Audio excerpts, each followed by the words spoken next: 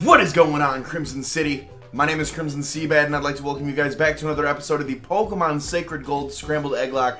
We are here today with episode number 15, if I'm right. And that's crazy to think about because that means this is almost the longest running LP on the channel. Blue hit 20, Blue hit 20, but this is almost the longest running. I hope you guys are excited. If you are, be sure to show some love to that like button down below. It is greatly appreciated as always. Helps me out, helps the channel out, helps the video out, helps everything out. Let's do a team recap really quickly. For those of you who missed it, we have Toph, the Adamant Cubone holding the Thick Club. She has the Storm Drain ability with Earthquake, Ice Punch, Thunder Punch, and Fire Punch. Next up, we do have Terror, our Adamant Natured Aerodactyl holding the Expert Belt with the Rock Head ability, Brave Bird Head Smash, Double Edge, and Fly. Next up, we do have West, the Adamant Scizor with the Flash Fire ability, Flare Blitz, Mega Horn, Meteor Mash, and Roost. Next, we have the lovely Ray Wrights, the Modest Gardevoir holding the Choice Specs with the download ability, Psychic, Roar of Time, Luster Purge, and Hydro Cannon. Next up, we do have Sunshine, our Jolly Jolteon with the Levitate ability, Thunder Wave, Thunderbolt, Water Spout, and Grass Knot. And last but not least, we have the strongest member of the team right now, Wing Dokes, with the Adam the Adamant Tauros holding that Life Orb with the huge power ability, Drain Punch, Swords Dance, Extreme Speed, and Crunch. So, last episode we made it over here to Mahogany Town. Mahogany Town? Mahogany Town. We made it over here to Mahogany Town. We hatched a bunch of your guys' eggs. If you did not see that, check out the end of last episode. And we have some stuff to do here involving a Red Gyarados. If you guys don't know about that, Red Gyarados is a thing in this game. I'm pretty sure it's a thing in this game. I've actually never made it this far in uh, Heart Gold or Soul Silver. But we do have some trainers up here we can clear out. We do have a man by the name of Lance we can talk to. We're still missing a Pokemon that can learn Surf. Uh, this man brings out a Parasect, which is Grass Bug, and I want nothing to do with that with Toph, so we are hard switching into my Steel type. Question of the day for you guys. What is your favorite Pokemon company foreshadow? What I mean by that is, we saw Ho-Oh before Gen 2. We saw what I assume to be Mega Gyarados in Gen 1. We saw, what else did they give us? What else did they give us? Um, the, the evolved form, or the pre-evolution of Munna. Maybe it is Munna. Yeah, because Munna Musharna. So, uh, we saw Munna, they talked about Munna in Gen 1. We saw the Alolan Exeggutor in Gen 1. That was on the uh, that was on the cover art for a um, for a release back in 99, I believe it was, the original Jungle trading card game series. We saw that Alolan Exeggutor, the Exeggutor with a really long neck. Uh, what else do we see? What else do we see? There's one more. I feel like there's one more. I don't know. Let me know. Let me know your guys' thoughts down below. I definitely think, I think before the gym we might need to level up just a tad bit. Um, but let me know your thoughts. I really do like, I can't think of one that I like the most. I do kind of, I do, actually, I do kind of like Mega Gyara. I do like Mega Gyarados. I do like that foreshadowing just a bit. Um, I also do have to say that uh, the other one that I really like, I mean, Ho-Oh was obvious. Ho-Oh was very obvious. Everybody, when we saw that bird finally, we were like, We've seen that before. But I mean, kind of looking at Mega Gyarados, it's not it's not easy to say that it's not that's not Mega Gyarados either. Like what else would that be? What else what else would that even be? I don't even know. But it's hard to say it's not Mega Gyarados.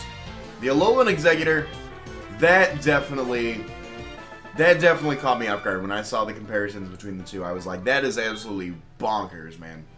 That is absolutely bonkers, and I am so excited for more Alolan Pokemon forms. Team Rocket's here. Team Rocket, what do you guys want? Hold it there, kiddo. The total is 1,000 to go through. Thank you very much. What? Did I just get robbed? I've still got 22 grand. Like, I'm not sweating. I'm chilling. I'm chilling. I really dig the Alolan. What was I saying? The Alolan forms. I really dig the Alolan forms. I think it's super cool. Um, that there's more vibrant sunlight, so the plant is obviously going to grow more. Like that's like a lot of people who I've seen do like speculation videos about the Alolan forms are like, why is his neck so long? It's a plant. If you put a plant in sunlight, it's gonna grow more. If you, it's like if you ever see somebody put a goldfish into not a bowl, but into like an actual pond or a lake, those things get huge. It, they, they grow based on their environment. And part of the thing, excuse me, part of what, um, part of, what do I want to do here, Wes? Um, so when you put the plant in sunlight, it's obviously going to grow more so. No! No, no, no, no, no, no, no, no, no, no, no, no, no, no, no, no, no, I just had flashbacks. I just had flashbacks so bad. Oh my goodness. Oh my goodness. Iron Defense. I kind of want to learn Iron Defense for exploding Gravelers. Oh my gosh. Um, Vibrava. I've got Ice Punch on Toph. I don't think I should be able to do too much to Toph. Um, what was I gonna say? What was I gonna say? So when you put the plant in sunlight, obviously it's gonna grow. What else did they show? The the Pokemon adapting, the Sandshrew and the Sandslash. Um, both of those things, obviously, now the fairy typing is a little weird, like different. I don't know how it would go about that. I can't theorize, but obviously when Pokemon are subjected to, we've seen Delta Species in other games before, but obviously they weren't main series games. I love you, Seuss, but obviously they weren't main series games. Um, seen Pokemon adapt to climates before, so now the actual Pokemon Company is taking that, taking that idea and applying it to their game, which is cool because you get to see things like, uh, give me the special attack. Okay, we're not. Let's use second. Um, now we get to see things like an ice Sandshrew. So obviously the ice, it, it, turned into the ice type as opposed to the ground type. It now, it completely changed its typing because before ice was super effective against ground, so now it became one with its own weakness. Like it adapted to its weakness. Um, and also embraced the steel type. I imagine when the ground gets really cold, it's hard as steel. So now we have ice and steel type. Granted, this does give us a four times weakness to fire and fighting, but um, it is what it is. Why can't I not? I was like, why can I not hit the X button right now? I'm just gonna fly, like, fly back really quickly while I keep rambling about Alolan forms. But, but the same thing with the, um, the same thing with the, uh, Vulpix. It didn't really embrace the weakness. Fire is good against ice, obviously. But it did need to adapt, and obviously, you know, beforehand, the pelt that it gave off, um, it did have the drought ability. The pelt that it had uh, emanated so much heat that it would cause a drought ability. And so now what it needed to do in order to survive, to adapt to the coldness, that that pelt needed to protect itself from the snow. It needed to be able to come one with the snow so it could survive. So it has snow cloak now, it's ice. I can't really explain the ice fairy. I can't explain the ice fairy, but there, there, there's been talk by, there's been talk, and then maybe by now they've been confirmed. But the, the other leaks that are around are um, Alolan Arcanine, which is a water type, and people are like, how can a big fire dog go straight to water? If you look at the island, if you look at the, the, the region of Alola, it's surrounded by islands, and the only way to get from island to island is by either flying, by boat, or by swimming. I don't think they're just going to let a bunch of stray Arcanines on a boat to transport them whenever they want. I don't think that's the case. Um, and I don't think they're teaming up with any other Pokemon, so they need to learn how to travel. And the only way to do that is is by swimming. So that that's again my thoughts on the Alolan Arcanine. Um, Butterfree becomes Bug Psychic. Obviously, we've seen um, obviously we've seen Exeggutor become a Grass Dragon. My thoughts on that are uh, there, there's a variety there's a variety of things um, in the Alola region that can that are different. And I imagine the, the fauna in the area is different. I imagine the fruits in the area are different. And those can also imagine like the Orange Islands where they ate the pink fruit and they became pink. I imagine that sometimes maybe some uh, some un some unnatural fruits in the in the diet of the Butterfree can cause it to get that psychic typing. Maybe it'll have a different color variation. Who knows? Um, those are my thoughts on that. Uh, the Nido, apparently the Nidoking and the Nidoqueen line become poison fighting as opposed to poison ground. It's a jungle. It's an actual jungle. And um, being a typical poison ground type is not going to be as effective, I feel, as um, as uh, a poison fighting type. It needs to become a predator. It needs to survive. It's in the it's in the it's in the jungle on an island. It needs to become the actual king and queen, so to speak, of dominating this island. Oh yeah, one shot that Chansey. Give me all that num num num experience though. Shout out to Toph leveling up. Um, so it does need to become a predator in its own sense. And wants to learn Fling? No thank you. No thank you. I would like to give up on Fling. Um, it needs to become the predator in its own sense. So poison fighting. Abracadabra and Alakazam line. Apparently they are pure fighting. Again, this reflects back on the fact that they need to become a predator and Toph is evolving! Toph is evolving! Yes! Yes! Oh, it does my heart good. It does my heart good. I love me some Marowak. I love me some Marowak. I love me some Marowak. Unfortunately, though, I have... To learn to move Thrash? No, thank you. I really would like Bonemerang. Just because that's the, the you know, the classic staple move. How you like Clefairy too? They're so very cute, aren't they? I think we can be good friends. I want to know your phone number. Let's talk about Clefairy. How about nah? How about nah? So I actually have to go put on Marowak's new ability. So let's see if that worked or not. Uh, Toph should have the Storm Drain ability still. Yes. Okay. Awesome, awesome, awesome. So Toph does have the Storm Drain ability. Got that lovely, lovely Marowak. We do get an encounter up here, actually. I just thought about that. We do get an encounter up here. Uh, it's going to be a Pidgeotto. Pidgeotto! No! That's my Pidgeotto impression. It being very early in the morning. That hurt my voice. Huh. Um, I can Thunder Wave with Sunshine! And then hit him with the Grass Knot! And then weaken it, and then we get to hatch more eggs, which I'm excited about. Don't use Whirlwind. Twister. Okay, cool. That's actually fine by me. I would... Bitch. Pidgeotto, I hate you. Oh, was this going to be an easier to capture Pokemon? A Lanoon. Yes, actually it was an easier to capture Pokemon. Oh, and it was extreme speed in this game. Shit. Alright, well, I was about to say, I shouldn't have ran, but I did. Because I mashed buttons because I'm a bad person. Don't mash buttons. Button mashing awareness month. Don't do that. Okay, so, uh, Red Gyarados is up here. We got some stuff to take care of. Lake of Rage. Fishing Guru's house. Oh, I gotta go talk to Fishing Guru? Is that right? Do I need to talk to you? Can you give me something? Lake of Rage is actually a crater made by raging Gyarados. The crater filled up with rainwater and the lake was formed. That's a story passed on from my grandpa's great-great-grandpa. It used to be that you could catch of the Magikarp there, but I don't understand what's happening. So, we do get a Lake of Rage encounter as well as the red Gyarados. Um, the Gyarados are angry. It's a bad omen. So we do need a Pokemon that can learn Surf, unfortunately. Um, I might need to go find that. Oh, cool. I can actually fly straight to the Lake of Rage now.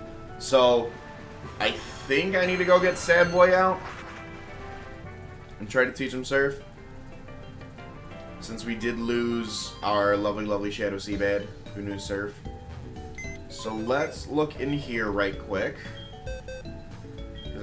Think the only Pokemon in our party that can learn it is Sad Boy. Um, so I'm gonna put Terra. No, I need Terra to fly. Um, I'm gonna move Ray Rights for a bit. I'm gonna move Ray. And I'm gonna grab Sad Boy, and hopefully Sad Boy can learn Surf. If not, we need to go find something else to do. Essentially. And that would make for a really short episode, because then I'd have to, like, go find Token Mons. Um... I mean, we could always use we could always use HM slaves even though they're dead. That's not that's not the issue. You are allowed to use fainted Pokemon only as HM slaves because otherwise it would make impossible for game progression. Make it absolutely impossible. So we can use worst case scenario. We can include a uh, a um, a fainted Shadow Seabed in with our party for him to surf. So I do want to save here because the Lake of Rage is a scary, scary thing, and I do want to catch this Gyarados. Because I believe it's a level 40 encounter, which is going to be really cool. It's going to be absolutely phenomenal. Um, it does make me want to lead off with Wesley, because he resists this stab. He resists it. Oh, and I gotta teach.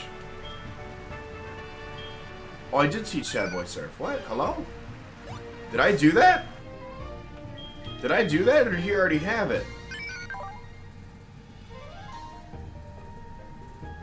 What? I think I taught him.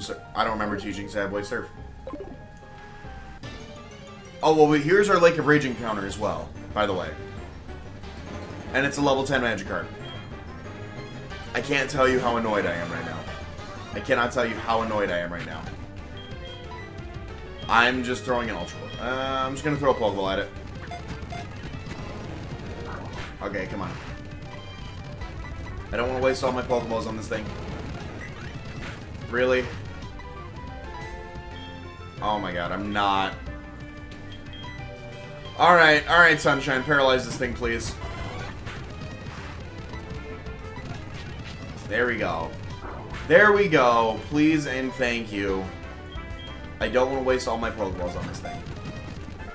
Thank you. Uh, given a game of the Cop magic card. Yes, you guys already know what it is. S-C-R... A M B L E D. Okay. Squawbox. Squawbox. I actually do want to kind of lead off with Sunshine just so I can um, get that paralysis off. So I get the paralysis off. Hopefully it's not like crazy high. Level 40. It's a level 40 encounter actually. Okay. So Sunshine I need you to live a attack from a Gyarados so I can T-Wave it. And I need Gyarados to be fully paralyzed and not attack my Sunshine. Twister. That's not stab. I was about to say. So now, I go into my Dragon Resist. Because he knows Twister, obviously. I hope he doesn't still know Dragon Rage. I can take a few Dragon Rages, though. Aqua Tail. Aqua Tail in the rain. That's actually doing stupid damage. What?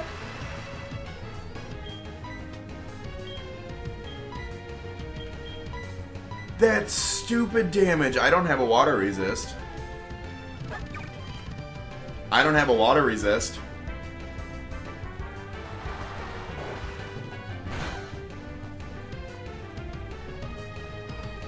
I really... I'm at a loss of what to do here.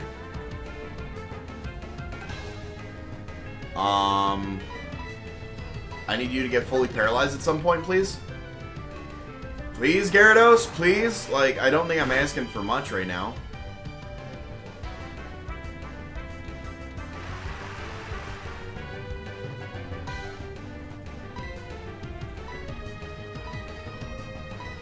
Don't think I'm asking for a lot right now. Please just don't... Okay, that's that I can take. That I can take. I can take an Ice Fang. I can take that. And I can damage you with... Uh, Meteor Mash? Yeah, I'll go for Meteor Mash. You resist it. I'll be able to get some chip damage off on you. Stall you out of Aqua Tails as well. It's just doing so much damage. Oh my god.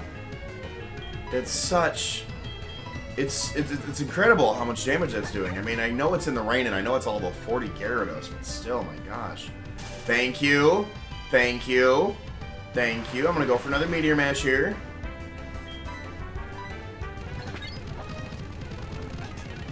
Paralyzed and he can't move. Cool. So I'm going to now take this opportunity to go for a Flare Blitz in the rain against a Water type. That should weaken him down just a bit more. It's not put him to the red just yet. Oh, I didn't know it was Rain Dance. Awesome, cool. Keep, yeah, keep, keep choking right now, Gyarados. Keep, keep gargling. We got this. We got this. So now he's in the red. He is fully paralyzed. Again, yes! Yes! We got this in the bag.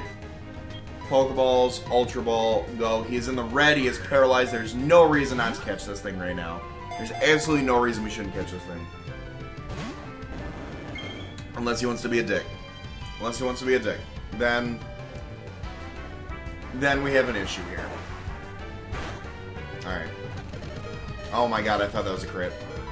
I sped up just so I could get through the animation and was like, hmm, my like my my every muscle in my body just like tightened up all at once. All right, I really don't want this episode being chased in the red Gyarados. Like, fully paralyzed. Yes.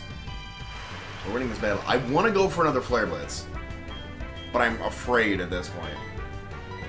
I'm afraid at this point. All right, come on, Ultra Ball, please. Red health, paralyzed. Two, three. Yes! All right, yes. Caught the fucking red Gyarados. Let's go, baby. Let's go. We are getting a powerful egg from that. We are getting a powerful egg from that. They say that during a past strife, Gyarados would appear and leave blazing ruins in its wake. The atrocious Pokemon. Give a nickname to the caught Gyarados. Yes, I will. S C R A M B L E D. Head to that Squawbox. Head to that squaw box. Crimson obtained the red scale. I don't remember what the red scale does, but we got the red scale. And we get to see another Magikarp here. Oh, level 20. That would have been really cool. That would have been really cool. That would have been awesome. That red Gyarados wasn't acting right. As I feared, somebody must have forced it to evolve. Did you come here because of the Wild Tales? You're Crimson? I'm Lance, a trainer like you. I heard some rumblings, so I came to investigate. I saw the way you battled earlier, Crimson. I can tell that you're a trainer with considerable skill. If you don't mind, could you help me investigate? Yeah, sure, bud. Excellent. It seems that the Lake of Rage Magikarp are being forced to evolve. A mysterious radio broadcast coming from Mahogany is probably the cause, and that suspicious souvenir shop. I'll be waiting for you in Mahogany, Crimson. Alright, so we do get to head back over yonder to Mahogany Town because we have a souvenir shop to encounter, to in, get involved with in some way, manner, way, shape, or form. We do get that. Um, we also do get to hatch two eggs, which I am super, super excited about.